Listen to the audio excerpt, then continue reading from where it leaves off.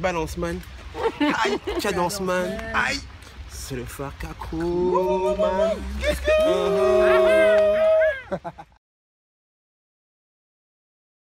Moi, je suis heureux si les gens qui sont autour de moi sont heureux. On a tous des moments d'angoisse, on a tous des moments de tristesse, on a tous des moments de, de haine, de joie. Mais il faut qu'on s'accompagne que de bonnes personnes et que de personnes qui, euh, qui puissent nous, nous faire avancer. Et les personnes qui, sont, qui ont du mal à avancer ou un truc comme ça, c'est à nous, entre guillemets, euh, de, les aider, de les faire avancer. Et c'est un peu le message que j'ai envie de faire passer un, peu à tout le monde. C'est que les gens qui sont dans l'échec ou qui ont peur de l'échec ou qui, euh, ont peur d'ouvrir la porte, allez-y, il faut y aller. Il n'y a, rien- a rien à perdre. Moi, j'aimerais bien que le jour où, euh, où je ne suis plus de ce monde, qu'on puisse dire, ouais, en fait, j'aimerais devenir comme Rafik.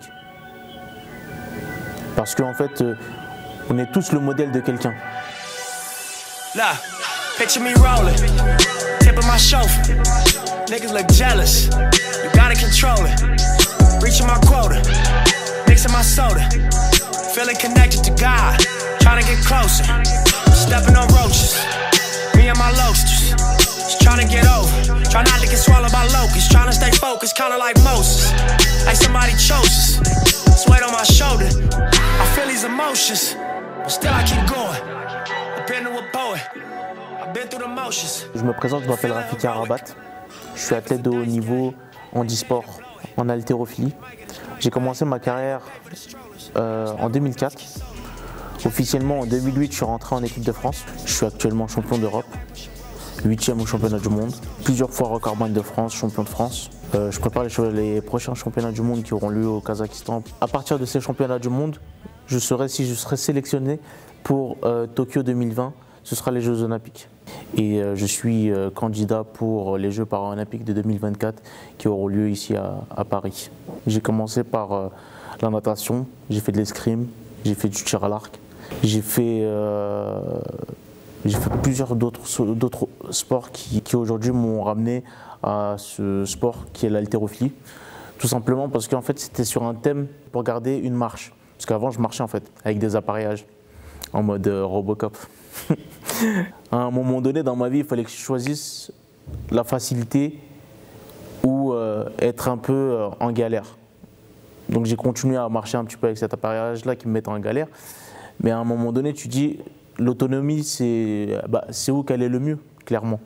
Et l'autonomie, clairement, je la trouvais sur mon fauteuil. Parce qu'avec la marche et ces appareillages-là, euh, clairement, je faisais 100 mètres j'étais essoufflé. euh, voilà. Alors qu'avec mon fauteuil, bon, bah, je, peux, euh, je peux venir de la Courneuve au Stade de France sans, aucun souci. ma maladie, en fait, s'appelle le spina bifida. C'est d'origine latin. Ça veut dire épine fondue en deux. En fait, moi, clairement, ma colonne vertébrale, au quatrième mois de grossesse, donc en fait, ça s'est passé dans le ventre de ma maman. la moelle épinière s'est pas construite correctement. Donc, ce qui a fait qu'à la naissance, il y avait un petit trou au niveau de mon dos. Le tissu de la colonne vertébrale et euh, la partie de, la colonne vertébrale ne s'est pas construit correctement. Donc, ce qui a, fait, ce qui a causé cette, euh, paralysie. En fait, ma spécialité, c'est euh, l'haltérophilie en e-sport. On est allongé sur un banc. C'est pas comme chez les personnes valides où on a la, par- la, la partie inférieure où les pieds sont par terre.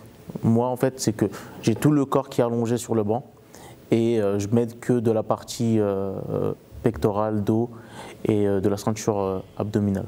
Moi, quand j'étais petit, j'aimais bien Ronnie Coleman. Ronnie Coleman, c'est un mec qui fait du bodybuilding, aujourd'hui qui est dans un état, euh, on va pas dire critique, mais qui a des gros problèmes de santé. L'homme, certes, il n'est pas fait pour pousser des charges comme on le fait, mais l'homme, il est là pour apprendre.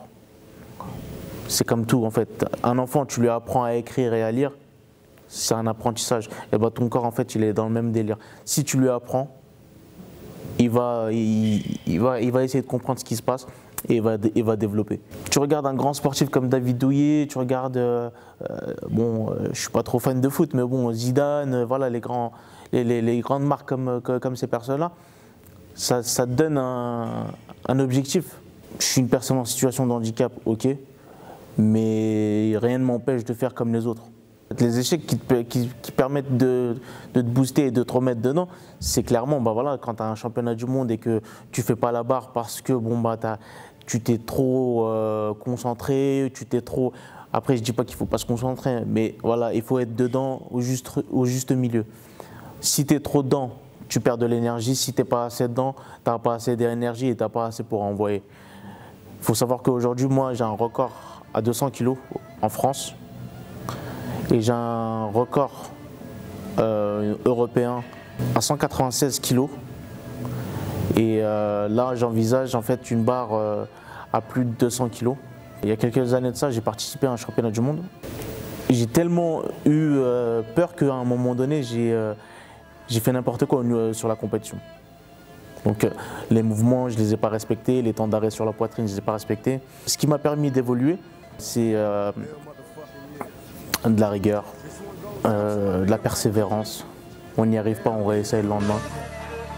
Born thuggin', heartless and mean, muggin' at 16 on the scene, watching fiends buggin' kicking up dust with the older G's, soaking up the game that was told to me. I ain't never touched a gap that I couldn't shoot. I learned not to trust a bitch from the prostitutes. Taught lessons, a young nigga asking questions while other suckers was guessing I was gangster sexing. Elementary wasn't meant for me, can't regret it. I'm headed for the penitentiary and cutting glass in, I'm fucking blasting, straight mad shit, mobbing through the overpass Moi, comme je dis clairement, le sport pour moi, c'est, ça me permet de, m'épanouir déjà dans ma vie de tous les jours. Ça me permet de, de pouvoir me débrouiller tout seul parce que le sport c'est bien, mais qu'est-ce que ça apporte Clairement, ça, moi, ça m'apporte une autonomie. Dans le sens où je peux monter tout seul dans une voiture, je peux me débrouiller tout seul. J'ai un appartement que je gère tout seul. Il n'y a personne qui vit avec moi. J'ai regardé autour de moi comment les gens fonctionnaient. J'ai regardé autour de moi et je me suis dit, il n'y a pas de honte. Que tu saches ou que tu saches pas, tu es là pour apprendre. C'est un peu ça le déclic. Moi ici, dans la salle où je m'entraîne, il y en a deux, trois qui sont en situation de handicap. Mais tout le reste, c'est entre guillemets que des personnes valides. Pour moi, c'est une satisfaction parce que ce que lui, ce que lui ou elle fait, je le fais aussi. Quand tu vois une personne qui t'en- qui t'encourage à travers ce que tu fais, ou quand tu vois une personne, une maman, qui te dit que moi j'ai mon fils qui euh, qui n'a pas cette chance-là de, de pouvoir faire ton sport, qui est atteint d'une maladie beaucoup plus dégénératrice que la tienne, tu peux que kiffer. Pourquoi? Parce que tu sais qu'à travers, euh, à travers mon image à moi, on sait que je donne de la force à ces, à ces- à ces familles-là. C'est ce que je disais la dernière fois.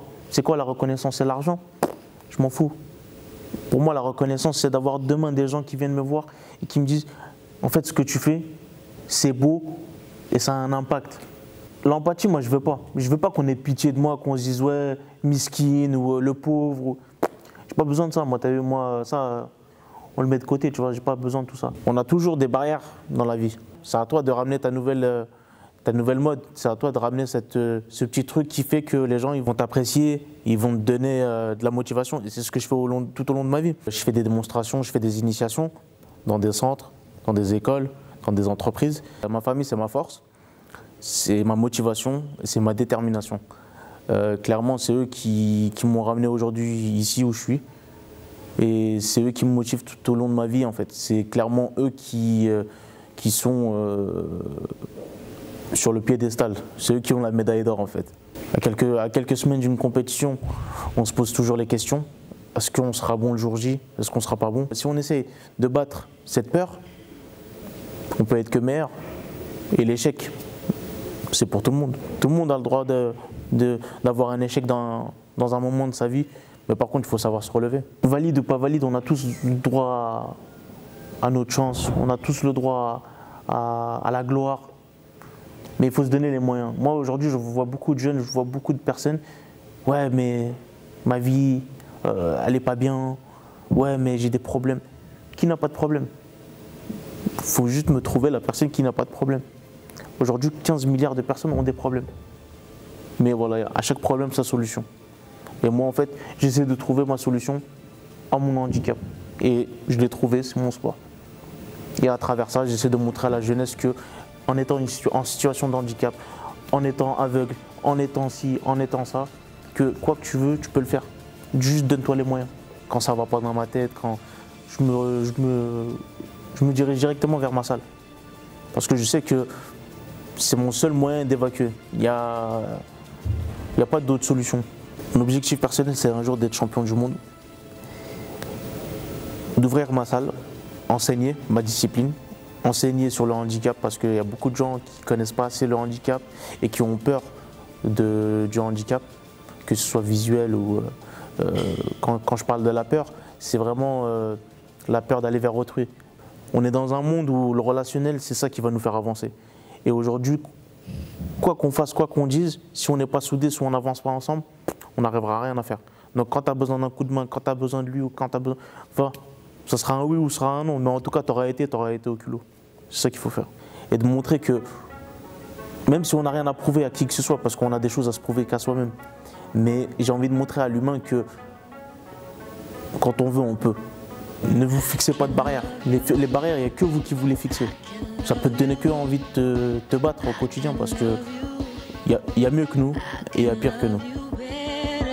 Bitches think they living in a dream till I wake 'em up. Faded off the liquor limousines, waiting in the front. Looking for a nigga with the green shining in the club. Trying to trade a hoe's life for the red rose life. I'll be roll dice with a Tu veux des mouchoirs? Attends, je n'ai pas. Désolé. On est ensemble.